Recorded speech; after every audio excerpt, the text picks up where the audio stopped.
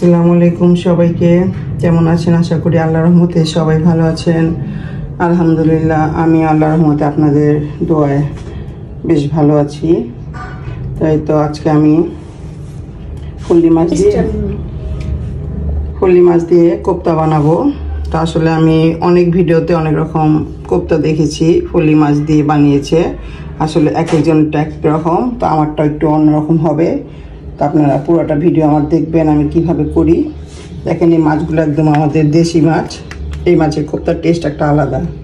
দেখেন সাদা আর উপরে অংশগুলো একটু হালকা একটু লেমন বা গ্রিন কালার দেখা যাচ্ছে। এটাই হলো আমাদের দেশি মাছ। যাই হোক, এখন এই মাছটা আমি কীভাবে কী করি একটু দেখেন। আর এখান থেকে কীভাবে আমি কেটে শুধু একটু এখান থেকে এটুক ছাড়িয়ে নেব। বাকি অংশ দিয়ে আমি কোপ্তাটা বানাবো। তো আমি একটু কেটে আপনাদের দেখাচ্ছি।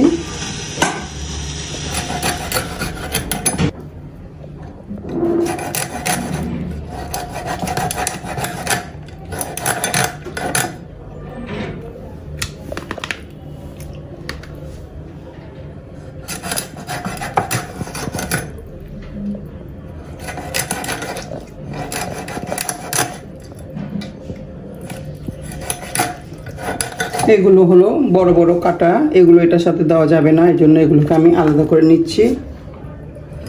আর এগুলো আমি ফেলে দেব না, এগুলোকে আমি রান্না করব।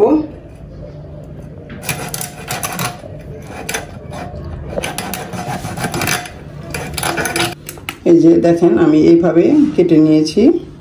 এখন এগুলোকে আমি শিলপাটা দিয়ে ছেঁচে ছেঁচে এগুলোকে আমি এখান থেকে কাটা, আর মাছ, আলু পাতা, পেঁয়াজ পাতা, এগুলো দিয়ে আমি এগুলোকে রান্না করব। একবারে মেখে চুকে বসিয়ে দেব। তো দেখাবো আপনাদেরকে এগুলো দিয়ে আমি কী রান্না করি। শিলপাটায় নিয়ে আমি এভাবে জোরে জোরে প্রেস করে করে এর ভিতরে যে মাংস মাংসটুকু আছে সবগুলোকে আমি বের করে নেব।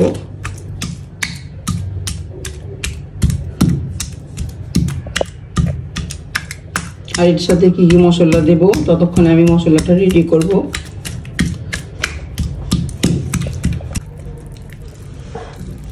ছাঁচা হয়ে গেছে। এখন এই যেভাবে স্কিনটাকে একটু ছাড়িয়ে নিলাম এইভাবে কেচে কেচে মাংসগুলো সব বের করে ফেলব।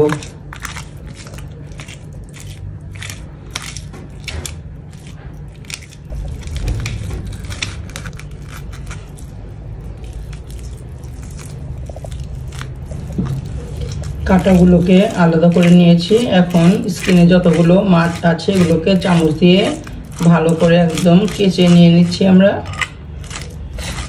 স্কিনটাকে একদম আমরা খালি করে ফেলেছি, কেচে কুচে যা ছিল সব নিয়ে নিয়েছি। এখন এটাকে একটা পানিতে ভিজিয়ে রাখতে হবে, কারণ শুকিয়ে গেলে পরে আবার একটু সমস্যা হয়, তো এটা যাতে ভিজা ভিজা থাকে এই জন্য এটাকে ভিজিয়ে রাখতে হবে। এই দেখেন, একটু কিছু নাই, আমরা সব কেচে নিয়ে নিয়েছি। মাঝখানে যে কাটাগুলো ছিল, তার মধ্যে দেখেন অনেক পরিমাণে মাছ লেগে রয়েছে। এগুলোকে আমরা কেচে কেচে সব নিয়ে নিচ্ছি।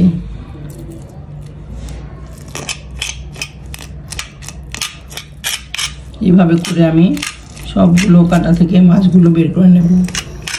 যে আমি এখন মাছ থেকে এই সবগুলো মাংস বের করে নিয়েছি। এখন এর মধ্যে যা যা লাগবে, এখানে লাগবে আস্ত শুকনো মরিচ, এটা বেটে দিতে হবে। এখানে চারটা মাছ ছিল, তাই সাত কর রসুন নিয়েছি আমি, চারটা পেঁয়াজ নিয়েছি, আন্দাজ মতো লবণ, আর লাগবে প্রচুর পরিমাণে ধনিয়া পাতা, কারণ এটাই সম্পূর্ণ সৌন্দর্য এবং টেস্ট এটাই বাড়াবে এই কোপ্তার মধ্যে। এখানে আমি আজকে অন্য কোনো মশলা এটা দ্বারা ব্যবহার করব না। এই কয়েকটা শুকনো মরিচ এখানে যা যা দেখছেন, এগুলোই। মরিচগুলোকে কাটায় বেটে নিচ্ছে। রসুন, পেঁয়াজ আর চারটা কাঁচামরিচ দিয়েছিলাম। এগুলোকে বেটে নিচ্ছি। ধনে পাতাগুলো বেটে নিচ্ছে। একবারে সব বাটা হয়ে হয়ে গেলে তারপর কি করি? মাছের স্কিনগুলোকে দেখেন, আমি পানিতে ভিজিয়ে রেখেছি। এর মধ্যে যে কাঁটাগুলো আছে, এগুলো এখন বটি দিয়ে ঘষে ঘষে কাঁটাগুলো বটিয়ে ফেলব। একদম এটাকে ফ্রেশ করে নিতে হবে। এভাবে ঘষে ঘষে নিতে হবে।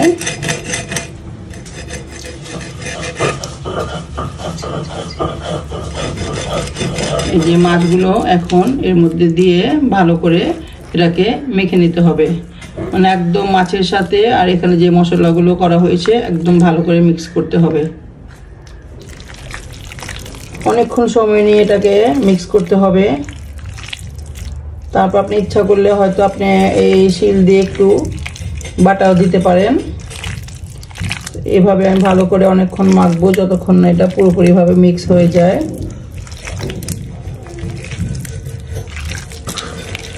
এই তো আমি হাত দিয়ে অনেকক্ষণ মিক্স করেছি, কিন্তু তারপর মনে হচ্ছে যে শিল্পাটা যদি একটু বেটে নিই, তাহলে আরও বেশি বেটার হবে জিনিসটা।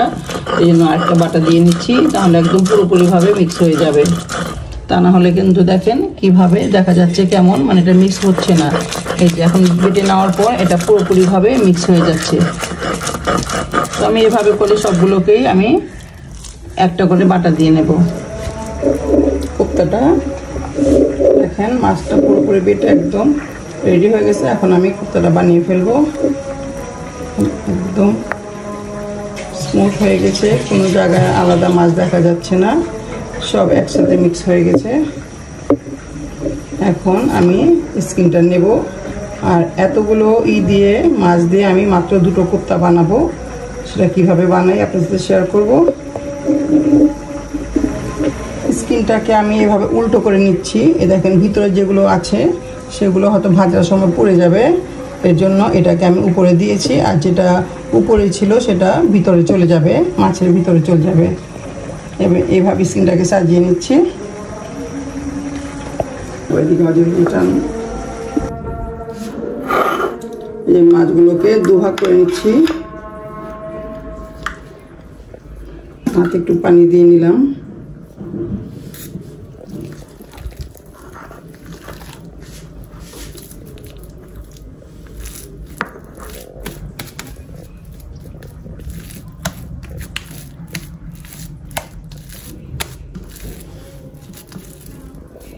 আমি দুটো হাতে ব্যবহার করতেছি, কারণ একটা হাতে হচ্ছে না।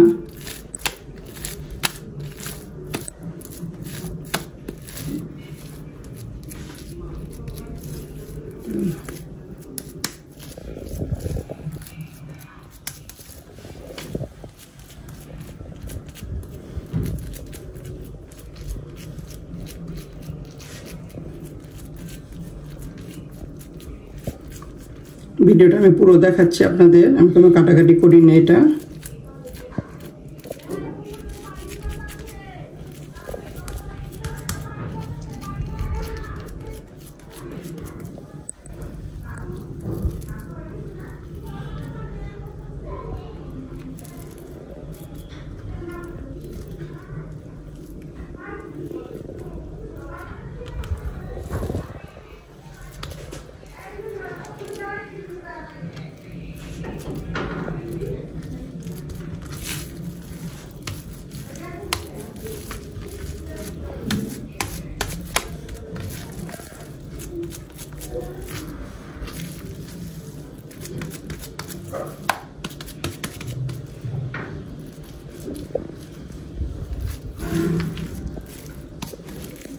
তো হয়ে গেছে।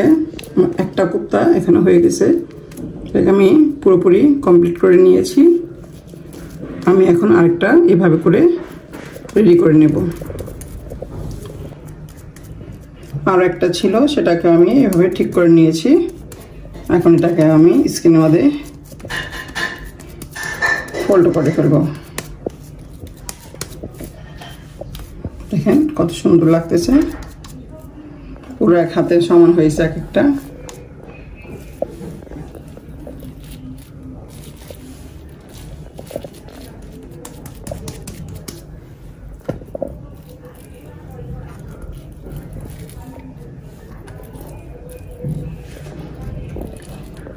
আসলে এক একজন এক রকম করে খায়, যার যেভাবে ইচ্ছা। আর কি আমাদের কাছে এমনই ভালো লাগে, তাই আমরা এই ফলি মাছের ভর্তা এভাবেই বানাই। আপনাদের কাছে যদি ভালো লাগে, তাহলে আমার মতো আমার রেসিপিটা ট্রাই করে দেখবেন। যদি ভালো লাগে, তাহলে আমার মতো করে বানিয়ে খাবেন। আর যদি ভালো লাগে, আমার ভিডিওতে একটা লাইক দিয়ে দিবেন। ফ্রাই প্যানে তেল দিয়ে দিয়েছি। তেলটাকে প্রথমে গরম করে ফ্রাই প্যানটাকে একটু ই করে নিয়েছি, যাতে এর মধ্যে কোপ্তাটা ছাড়ার সময় না লেগে যায়। তো তেল যখন বেশি গরম হয়ে গেছে, তখন আমি চুলাটা অফ করে দিয়েছি। আবার পাঁচ মিনিট পর আমি চুলাটাকে জ্বালিয়ে নিয়েছি। এখন একদম কম আছে, আমি এই কোপ্তাগুলো আমি ছেড়ে দেব।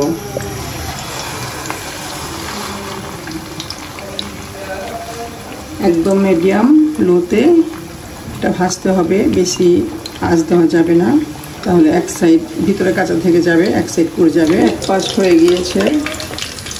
আরেক পাশ উল্টিয়ে দিচ্ছি, খুব সতর্কতার সাথে উল্টাতে হবে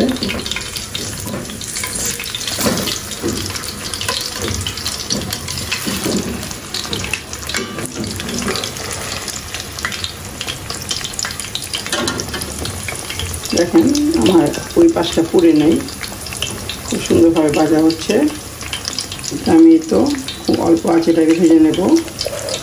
এ পিঠ উপিট দু পিঠ, এক পিঠ হয়ে গেছে, আরেক পিঠ ভেজে নিলে হয়ে যাবে। ভাজাটা হয়ে গিয়েছে। আমি এটাকে চল্লিশ থেকে পঞ্চাশ মিনিট পর্যন্ত চুলায় রেখে একদম অল্প তাই এটাকে আমি ফ্রাই করেছি। দেখেন, কত সুন্দর লাগতেছে দেখতে। মাশাল্লাহ খুব বড় বড় হয়েছে। এখানে দেড় কেজি পল্লি মাছ ছিল। দেড় কেজি ফল্লি মাছ দিয়ে বড় বড় দুটো কোপ্তা হয়েছে। এখন এগুলোকে আমি ভালো করে মানে ভাজার পর এগুলোকে এখন আমি পিস করে করে নেব। এবং সেটা যেভাবে ইচ্ছা রান্না করা যাবে। এটা ফুলকপি দিয়ে আলু দিয়ে, টমেটো দিয়ে রান্না করে খাবেন। এটা ছিমি মটর দিয়ে, আলু দিয়ে, টমেটো দিয়ে রান্না করে খেতে পারবেন।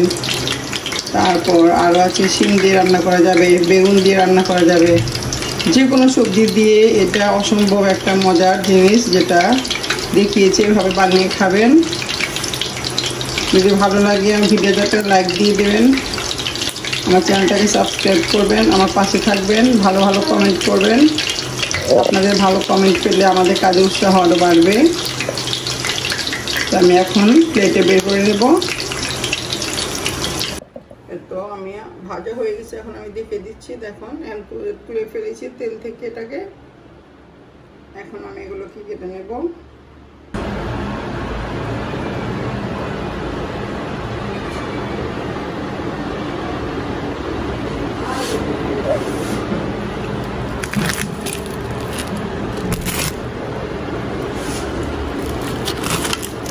ভারী ভারী হয়েছে।